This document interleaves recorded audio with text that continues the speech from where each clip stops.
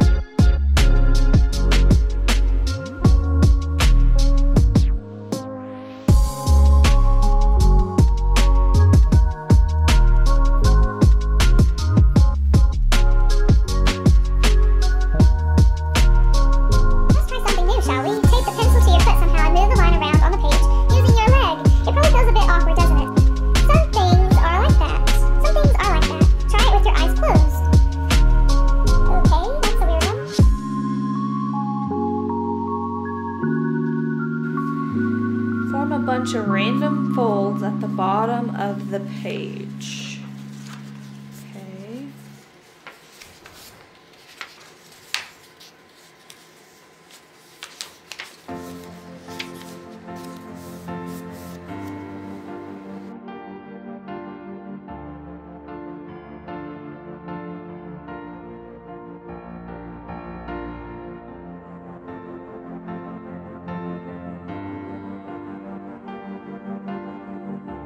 Think you may have offended the line. It's requesting some alone time. Cover it up with something of your choosing. You can sew, blue tape, paint. So I have offended the line. Oh no. I'll do that later. The line is feeling a little mischievous after that last page.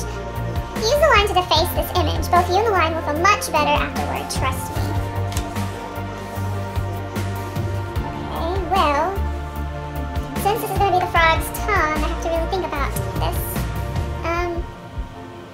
It could be like a pink mustache.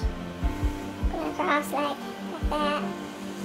And then when I come back through, I can give him some eyes and maybe a mouth or something.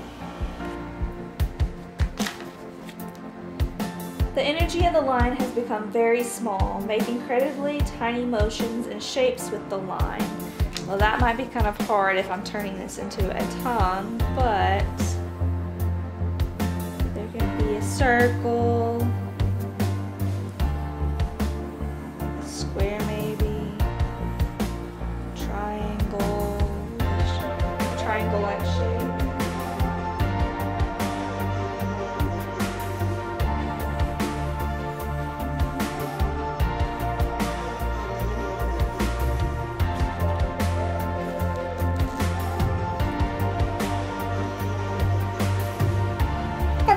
to demonstrate your current move, Show how you are feeling using the line.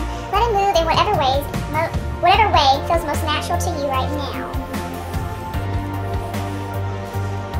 Hope you can see this, but it's hard to draw and look at the camera. Okay, The line disappears into this hole, or does it? Maybe it proceeds safely around it instead? Know that you will be okay either way. Holes can be plentiful and don't necessarily need to be avoided. We'll go through the hole.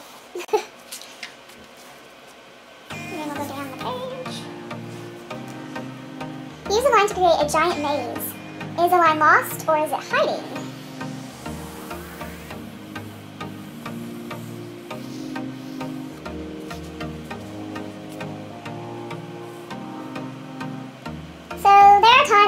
Bumpy. places page over some pavement.